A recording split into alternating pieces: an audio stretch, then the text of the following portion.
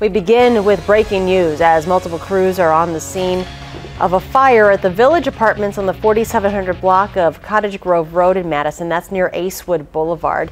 The fire is out. Everyone did get out of the building. Two people went to the hospital with minor injuries. Roughly 40 people are temporarily displaced right now.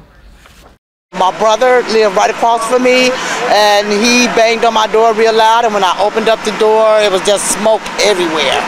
So and the fire alarm was real, real, real loud. So that's what happened. Everybody had to just vacate real fast up out of there. The cause is under investigation. No damage totals are known at this time. We will have more on this later on News 3 this morning.